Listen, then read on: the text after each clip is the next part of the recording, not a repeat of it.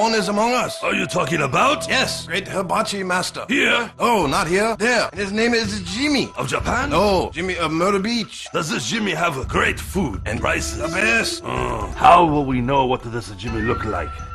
Hey, y'all. We must travel great distance to see Jimmy. Hi, I'm Jimmy. Come see me on 62nd Avenue North in Myrtle Beach for the best hibachi and best prices around. Hey,